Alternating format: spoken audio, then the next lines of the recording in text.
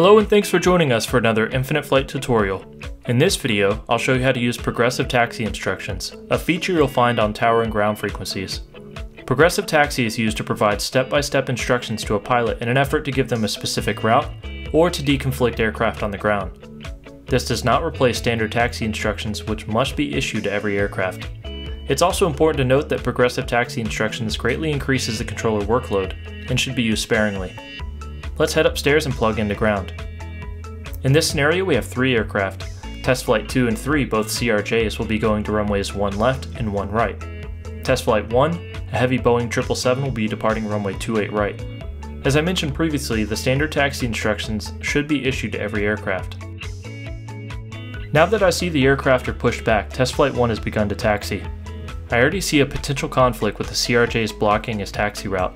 To provide a more specific route and avoid conflict, I'll open up my instructions menu, select Progressive Taxi, and instruct test flight to turn left on the next taxiway. Test flight 1, turn left next taxiway. Left on the next taxiway, test flight 1. Once the 777 is turning left, I'll issue another instruction to turn right. Right on the next taxiway, test flight 1. As test flight 1 approaches on the next taxiway, I again open my menu, instruct them to turn left, and then give the crossing clearance for runway 28 left and 28 right.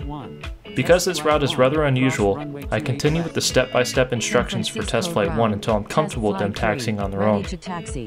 Ready to taxi. Crossing runway 28 left, test flight 1. Test Now that the first conflict is resolved, let's jump back to our CRJs who are now ready to taxi. San Francisco ground, test flight 2. Test flight 3 is ready to taxi, so we issued the standard taxi instructions to runway 1 left.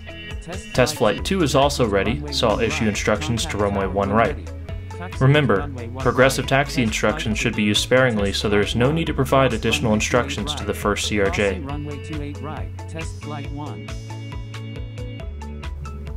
As test flight 2 and 3 make their way to the runway, I notice that test flight 2 will likely be blocked in once test flight 3 is holding short of runway 1 left. To let test flight 2 know that I'll issue a different route, I go to my progressive taxi menu and select expect progressive taxi instructions. That just lets them know to expect new instructions to get to the runway. After sending that, I issue a right turn, followed by the next left turn, which takes them around the CRJ they were previously following. Let's jump back to test flight 1 for a moment.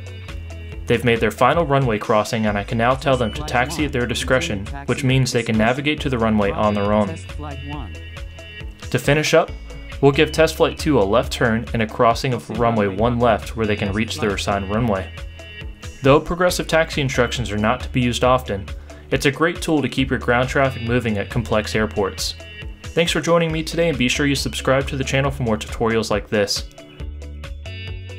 You can also follow us on Facebook, Twitter, and Instagram at Infinite Flight.